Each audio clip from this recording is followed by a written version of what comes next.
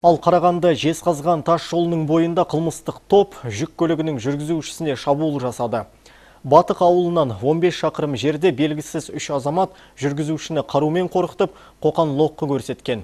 Артынша зардап шегушінің 400 мың теңгеге жуық ақшасын тартып алған қарақшылар оқиға орнынан тайып тұрған. Дегенмен полиция қызметкерлері қылмыстың ізін суытпай күдіктілерді құрықтады.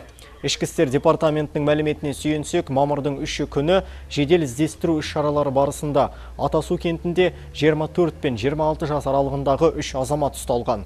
Тергеу барысында күдіктілер қылмысын мойындап, уақытша ұстау изоляторына қамалды. ұсталғандар уақытша ұстау изоляторына қамалып олардың үстінен қазақстан республикасы қылмыстық кодексінің 192 бабы екінші тармағы яғни қарақшылық шабуыл фактісі бойынша сотқа дейінгі тергеу амалдары жүргізілді